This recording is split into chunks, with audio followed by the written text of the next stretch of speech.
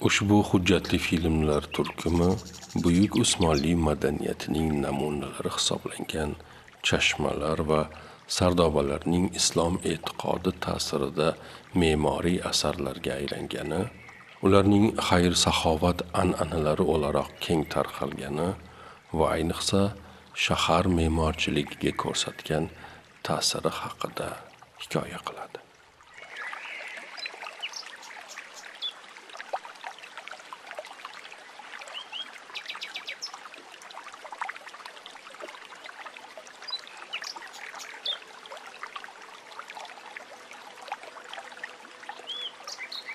Sultonlar shahri Istanbul asrlar davomida madaniyatlar markazi bo'lib kelgan muborak shahar.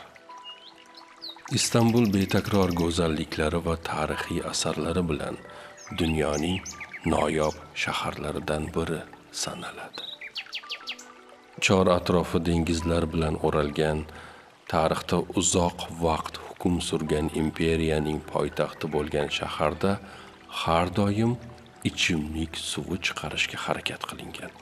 Qiyinchilik va mashaqqatlarga qaramasdan xalqqa yangi va toza suv yetkazib berishga muvaffaq bo'lingan.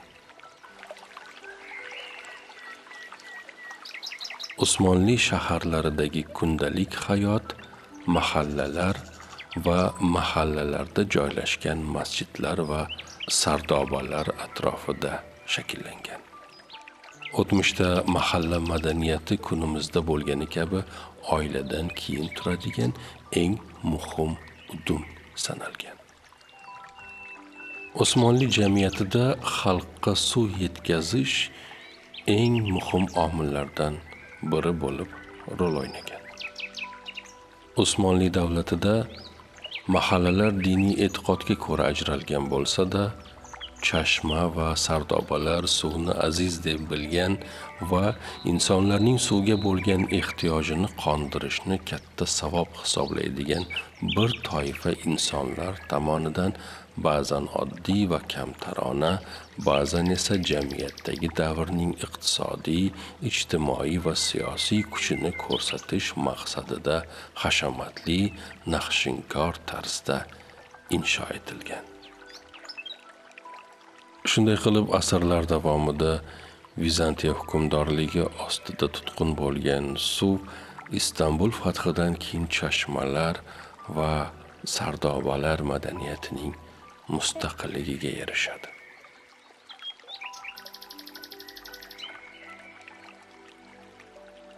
Shahar bezagining ajralmas qismi bo'lgan chashmalar va sardobalar ba'zan maydonlarda, ko'chalarning burchaklarida ba'zan masjidlarning hovlisida bino etilgan.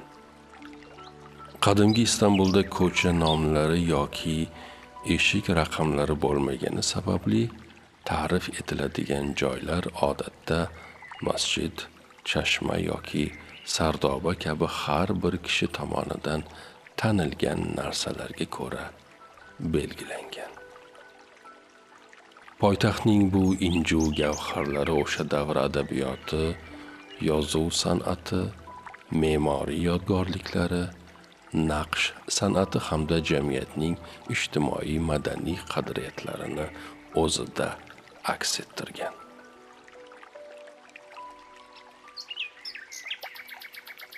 Ayniqsa 18-asrning boshlaridan keyin rivojlangan piknik an'anasi chashma va sardoba me'morchiligi bilan chambarchas bog'liq bo'lgan.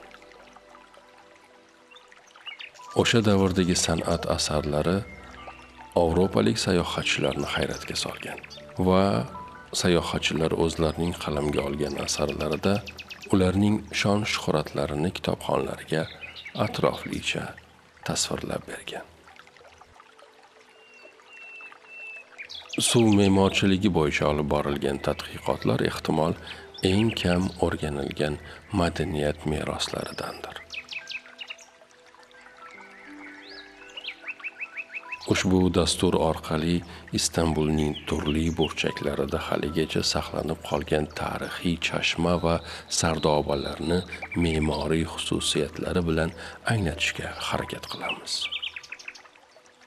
Zero tarixiy va madaniy meroslarimizni atroflicha o'rganmoq va uni kelajak avlodga yetkazmoq har birimizning vazifamizdir.